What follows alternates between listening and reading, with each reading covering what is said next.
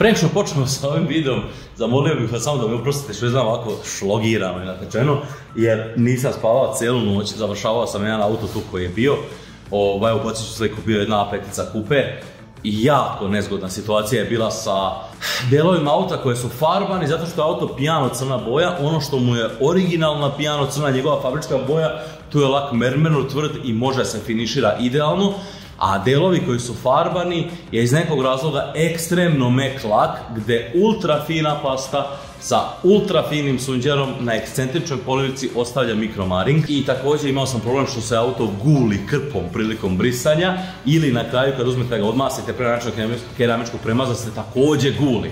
No, Ovaj video se uopće ne tiče o audio, ali kome prati od vas, ajde kažem 20.000 subscribera koje otprilike do sada imamo, ovaj, inače subscribeujte se na kanal ako ste novi koliko želite pratiti ovo dalje, zna da ovaj kanal je primarno se bavi samo detailingom. Međutim, na ovom kanalu su bili par stvari kroz istoriju kanala, Audi serijal, gdje smo Audija iz mrtvih vratili onako jedno zadovoljavajuće stanje i na kraju smo morali da ga prodamo. Ja se pričam u množini kada smo to zajedno radili, moralo sam, ali oprostite ako tako pričam. Sada je tu Punto, kog obrađujemo u ovom serijalu, Akord i Up. Akord ima nekih stvari koje treba da se rade također na njemu, mnogi su pitali gdje je Akord, gdje je Akord, tu je Akord, vozim ga povremeno, ali ne preterano od kad sam kupio APA, iskreno, jer APA je vozitelj za džabe, imate video APA na kanalu ovaj, Volkswagen APA na CNG, odnosno na metan da košta nekih 400 dinara 100 km, tako da jednostavno da vozim samo za uživanje trenutno, znači ne uopšte više za daily stvari, jer naravno troši mnogo više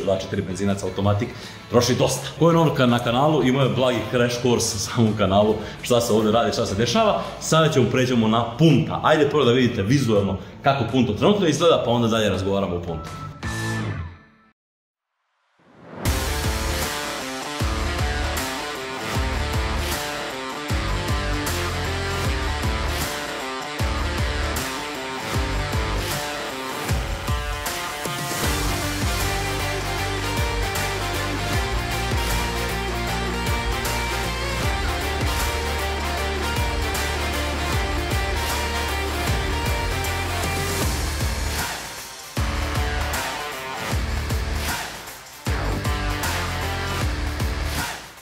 I oduzet ću vam par minuta za sponzora današnjeg videa koji je Car Vertical, ali nemoj da skipujete zato što ćemo da obradimo APA i njegov izveštaj koji sam koji je odlučio, odnosno koji mi je pomogao da odlučim da li da kupim APA ili ne, na kraju kao što možete vidjeti, kupio sam APA. Car Vertical stranica koja vam omogućava da kada ukucate broj šasije vašeg vozila, dobijete podatke u njemu ukoliko postoje unose za taj vozilo, za većinu postoji, o tome da li imao neke udese, da li je skidana kilometraža, da li je postalo nekih malverzacija sa automobilom ili nije. Ukoliko nije, odlično kupujete automobil. Tako da, ukoliko želite da proverite svoj automobil ili automobil koji kupujete, možete koristiti link koji se nalazi u prvom komentaru ovog videa i možete koristiti moj promo kod Živković koji će vam doneti 30% popusta na proveru automobila preko Car Verticala. I sada ćemo se baciti na APA. Znači, kada sam teo kupim APA, odmah sam rekao vlasniku, to je nazvao ga je poslao u poruku da mi pošalje, da mi u poruci pošalje broj šasije da vidim šta se dešava s njim. Proverio sam i ima unos APA. I kada smo učitali ovaj izveštaj od našeg Volkswagen APA, to je mog Volkswagen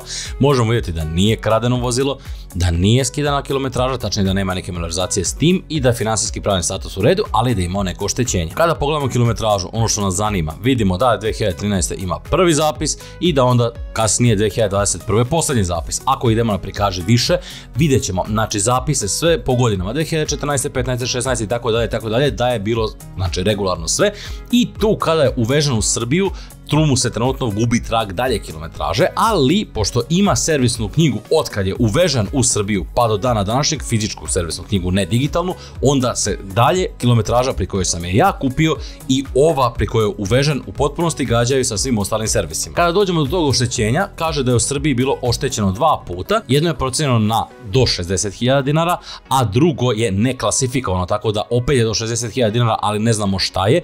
Međutim, ovo oštećenje gdje kaže da je zadnji branik i vrata se vidjelo time što je zadnji branik farban, dok ova vrata ovdje su imala jednu duboku grebotinu koja je također ubačena kao oštećenje, ali sam ja to uspio da saniram poliranjem. Sve ostale stvari u apu, kao što smo već rekli, su u dobrom stanju i nema nikakvih problema. Koliko imate neke nedoumice oko vašeg automobila, želite ga provjerite, Car Vertical, moj promo kod ili link u opisu, 30% popusta i to je to.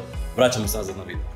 Pošto ste punta sada vidjeli, evo u garaži kako stoji, on naravno sada nije u garaži, ja ovo snimam naknadno i onaj deo koji sam snimio već u sklopu toga kad je on bio u garaži, nešto nije u redu sa video snimkom, del, delove toga imam, delove toga nemam, to mi se u posljednje vrijeme dešava, ne znam zašto moram, moram malo brati pažnju u kameru, ali ovaj, tako je kako je. Tako da ovaj video snimam nakladno, pa ću da objasnim od čega će ovaj serijal da se sastoji i šta ćemo da radimo. Prvenstveno sljedeća epizoda ovog serijala odmah za ovim ide sređivanje farova punta, koji su ovdje kao što vidite na snimku u lošem stanju, a nisu bili, sad ću baciti jedan deo snimka koji već postoji na kanalu o ASMR pranju punta, kakav je on zapravo bio, Sada više nije, nažalost, doći ćemo do toga. E, farovi su bili takvi, sada su ovakvi. Znači, farovi su loši, ali to je manji problem što su oni loši, oni ne sijaju dobro, znači imaju problem sa sočivom, vidjeli se kakvi su mutni i ostalo, tako da sljedeća epizoda sređivanje farova, znači iz polja i unutra i poliranje, odnosno polimerizacija, taj video ste čekali, vidite, vidjet ćete ga u sljedećoj epizodi. I kompletno sređivanje farova unutra, u smislu rasklapanje farova, E, sređivanje sočiva i tako dalje i tako dalje. Druga epizoda će da se tiče, mislim, kronološki gledano, enterijer punta ili farbanje branika, vidjet ćemo. Što se tiče enterijera, punto je nekada, i to možete vidjeti na ovom ASMR snimku, imao ova sedišta koja su sada pretvorena u garažne stolice, a ovaj, sada sam mu nabavio novi enterijer koji ste također mogli vidjeti na kanalu, njegovo sređivanje. Ovaj, ali to je bilo pre bukvalno godinu i pol dana, možda i dve.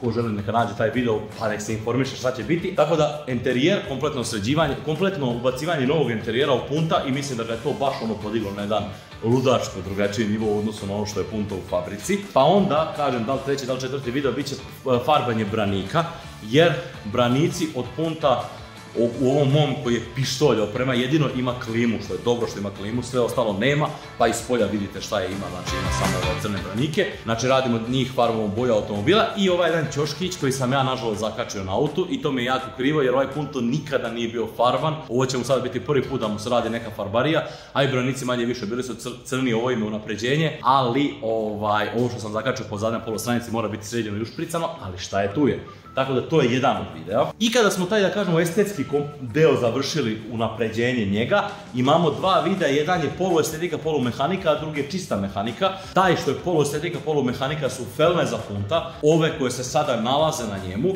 One su inicijalno bile zamišljene kada smo ih kupili da se promeni boja i da se još neki detalji u puntu, na puntu ofarbaju tu istu boju koji će biti felne. To nikada nije urađeno, sad će biti urađeno, kupljena je boja i sve ostalo, tako da to je jedan od videa videa i drugi deo od videa koji se tiče isključivo mehanike će biti o sređivanju svih stvari koje su trenutno na puntu mehanički zapuštene. Najveći akcent će biti na kočnice koje trenutno nisu u dobrom stanju i punto ima problem da sam koči ponekad, odnosno da malo blokiraju kočnice sve, znači prednje i zadnje. To je najveće, najviše, e, što je najvjerojatniji problem sa ABS centralom. Nabavljena je druga, kupljena je nova. Trenutno također čekam paket jedan da mi stigne, ovaj, stignu svi ostali novi delovi koji su potrebni se za mene na puntu, tako da će i to biti video o mehanici i u sklopu tog videa ćemo još da neke stvari, sitnice, ostalo da dovedemo to u još, još bolje stanje. Kada smo to završili, onda dolazi onako šlag na tortu. Biće jedan video, nadam se, u sklopu sređivanja enterijera, tačnije, to će biti vjerojatno poseban video o preslačenju, odnosno tapaciranju volana kožnog i to ću jednog mog drugara koji se bavi time da, ajde kažem da predstavim, da ga malo ispromovišem koliko mogu jer moj kanal nije ogroman, ali dobro, imat će sigurno neki benefit od toga i da vam pokažem jedan njegov automobil koji je vrlo interesantan i to će biti video za sebe, a onda dolazi kompletno sređivanje interijera, jer ja sam u sklopu ovog sređivanja punta naprašio ga unutra, napravio svinjaca i tako se izrazim i nije već neko vreme sređivanja, jednog godinu dana mu nisam radio ništa interijeru, tako da ćemo ga rasklopiti kompletno ponovo, da povadimo sad ovaj interijer koji smo ubacili, da sredimo sve, sedišta, tepihe, nebo, plastike, tapacire i tako dalje. Znači jedan full detailing interijera, a onda opet poseban video, jedan full detailing eksterijera gdje ćemo doradimo puntu višeslojno poliranje, keramičku zaštitu na lak, keramičku zaštitu na stakla, keramičku zaštitu na felne, keramičku zaštitu na farove i sve ostalo na automobilu, da ga znači u potpunosti finiširamo da izgleda kao nov, znači kao da smo ga juče kupili, a ne kao auto koji je star pa uskoro 22 godine, verovali ili ne. Na kraju je plan da bude jedan video ovog tipa gdje ćemo sve da obradimo šta smo uradili zajedno na puntu i da ga predstavimo u potpunosti završenog. I vidjet ću negdje tamo, pošto će ovo sad već da se razvuče u januaru najverovatnije, ako sam mislio da stane sve u decembar, da napravimo jedan mega video onako gdje će biti sve od početka do kraja. Taj video da ćete gledati, da li nećete, to je na vama, ali želim da ostane tu jer taj video će vjerojatno kroz vrijeme da gledaju ljudi koji će da napasaju na kanal i na to. Tako da to će biti rađeno sa puntom. Mislim da će biti interesantno jer punto je auto koji je kod nas dosta zastupljen, koji je jako jeftin i koji je jako dobar automobil. Stvarno, ja sam oduševljen tim malim automobilom koliko ga imam, a sad ću da vam objasnim još jednu priču o njemu, e, znači, odnosno kako je on došao kod mene, zašto želim da ga sredim i zašto ulažem novac u jednu kantu kao što je punto. Ajmo na taj deo i onda završavamo s ovim videom, pa se već vidimo vrlo uskoro za dan, dva na videu o farovima. Dobro, kako je došlo do punta? I zašto sređujem puno? Mi koji se bavimo automobilima, ja barem lično volim apsolutno svaki automobil i nije mi bitno da li je to Punto, da li je to Fiat 500, da li je to Ferrari, da li je to moj Accord, da li je to Audi A5 koji sam malo prepomenuo. Ja jednostavno volim sve automobile. I nisam od onih ljudi koji pljuje brendove, ja vidi ovo, vidi ono. Evo ja u mom trenutnom vlasništvu imam Italijana, imam Nemca i imam Japanca. Malo to ljudi ima, svi su u nekim taborima, samo Japan, samo Italija, samo... Ne. Ja volim svaki automobil, zadovoljan sam sa sva ta tri automobila koja sam naveo. Znači i sa Accordom, i sa Volkswagenom Appom, i sa ovaj, Punto. E sad, Punto je kod mene došao sasvim slučaj. Ja sam pretežno neko ko voli japanska vozila i imao sam preko pojene Punta kao neki moj lični auto, Honda Civic Type S 2009. godište, znači restyling, koji je bio onako baš moćan, crni, imao je Typer masku, bio je napucan, ubacit ću ovdje video ili sliku šta bude već iskopao o njemu i obožavao sam ga, jednostavno to mi je bio onako negdje dream da uzmem pored Akorda, Akord mi je bio auto koji sam želeo kao klinac, znači Ceo život sam želeo taj auto kad sam ga prvi put video i Akorda sam ja kupio sa mojim pokojnim ocem na pola, pre šest godina, eto već koliko je ovaj Akord kod nas. To je bio neki zajednički kao auto, malo porodični, malo moj i ostalo, jer ja tad nisam bio u mogućnosti da u potpunosti kupim takav auto sam. Međutim, Civica sam kasnije kupio kao auto za mene, da bude auto za svaki dan, ali morao sam nažalost da ga prodam, jer ovu garažu koju sada vidite koju ovo snimam, kada sam pravio, zafalilo je dosta novca, jer uvek to majstori kažu košta će ovako, će na kraju onako, bude bukvalno duplo više.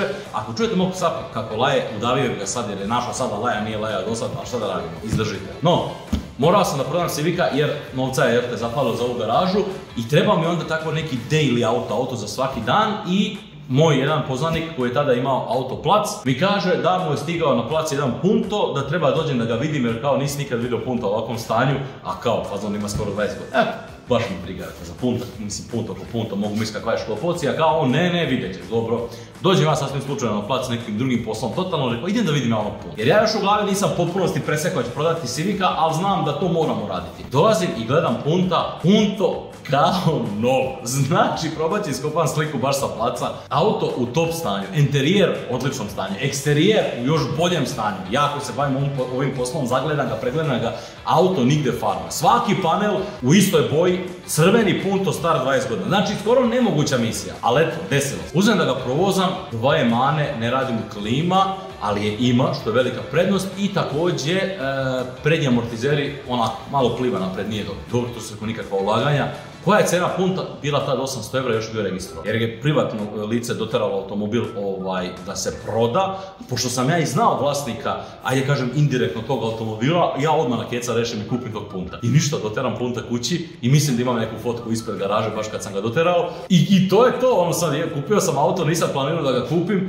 ali nisam mogao da ga ne kupim kada je tako dobro stanju, a već znam da moram prodati Civica. Civic se prodaje, našao je novog vlasnika i sad ja ostajem na puntu i akordu i počinjem da vozim tog punta svakodnevno znači za sve potrebe koje su mi potrebne, idi do grada, idi vamo, idi namo, radi ovo ono, vozim puntišu i nekako taj auto počinje meni da prirasta mom srcu zato što vidim da je autić stvarno dobrom stanju, da je vrlo praktičan za korištenje u gradu, da je relativno mali potrošač, da je smešno održavanje, znači vidjet ćete u video mehanici koliko malo koštaju ovi dijelovi koje sam ja kupio i to od renomiranih proizvođača. Jednostavno počinjem da razmišljam kako je to negdje idealan gradski automobil i šteta što se Punto i dan danas ne proizvodi, zamenili su ga sa Fiatom 500 u suštini. Kažem, žao mi je što se Punto i dan danas ne proizvodi, možda ga Fiat u nekoj iteraciji električnog vozila nekad ponovno vrati, jer Punto je onako nasleđe Fiatovo, pored svih ostalih automobila, većina ljudi na svijetu kad kažeš Fiat pomisli na punta, pored onih nekih kultnih automobila. Još jedna stvar, prošle godine Pošto Akord nije mogao da bude registrovan zbog problema sa ostavinskom raspravom, sa papirologijom u Srbiji i svime ostalim, ostao sam na jednom automobilu, a nisam jedini vozač u kući i onda taj punto je vožen bukvalno kako jedan sjaše, drugi uzjaše i prešao je 40.000 km prošle. Nije mnogo obraćana pažnja na njega, rađeni su mali servisi, e, ali jednostavno kad vi tako puno kilometara pređete za mali vremenski period, počinje da odlazi mnogo šta, a da vi ne počinjete da to da hvatate na vreme, pa onda neki delovi trapa, ovi problemi sa kočnicama koji se dešavaju i tako dalje. To se sada sve nagomilalo. Plus ovi farovi kao što vidite na šta liče. A onda uh, ove lajsne koje su potpadale s auta, uh, interijer koji, koji je polovično urađen, nije do kraja završen. Jednostavno, ta prošla godina je bila, nažalost, jako i ružna i turbulentna i svakakva. I onda Punto je stvarno onako za godinu dana, znači evo pre dve godine Punto je izgledao ovako, a sada godinu dana kasnije izgleda ovako. Jednostavno auto jako brzo može da propadne ako se tako pun gas stalno tera i održava koliko se održava. Ove godine Punto mora da se vrati na staru slavu na koju je bio i to ćemo da obradimo kroz ovaj serijal. To je još jedan od razloga pošto uh, me je toliko dobro služio čak i tada kada je gažen pun gas. Evo vam jedna slika sa mora, znači bio sam puntom i na moru u Herceg Novom, nije to neka kilometraža za njega, ali ajde, relativno jeftin, relativno mator auto može da stigne na more. Bio je na Tari, bio je na Zlatiboru, evo vam jedna iz bespuća na Zlatiboru, znači negde na, vrh brda nekog, takođe ovaj, sam stigao s njim, itd, itd, itd. Znači, hoću da kažem, punto je božen pun gas, nije izdao nijednog trenutka, nikada se nije pokvario u smislu da me ostavio negde, tako da on zaslužuje da se ovo što mu radimo uradi od početka do kraja na jednom idealnom nivou. Novac koji može se dobije za punta, sada možda oko 800.000 eura, realno ne vredi mnogo, znači sa tim novcem ne možete ne za šta pametno da uradite, a imate automobil kao što je u mom slučaju koji nije truo, koji je u dobrom stanju, koji je održavan i sve ostalo, i ja sam znači rešio da njega do daljnjeg ostavim, koristi se i dalje vozi se svaki dan takođe, voze ga drugi ukućani, ja ga vozim ponekad. I onda sam ja rešio da sada u sklopu ovog serijala sve ono što sam započeo kroz vreme da radim na puntu, znači ubacivanje jednog interijera, pa drugog interijera, pa nabavljanje tih felni, pa ove mehaničke popravke, pa one mehaničke popravke, pa želja da se urade ti branici u boju auta koja mi od početka, znači želja da uradim još nisam uradio. I to se sad sve nakupilo tako da ja imam većinski deo tih delova koji su mi potrebni za ovaj serijal, a s druge strane imam umeće i znanje da mnoge od tih stvari uradim sam.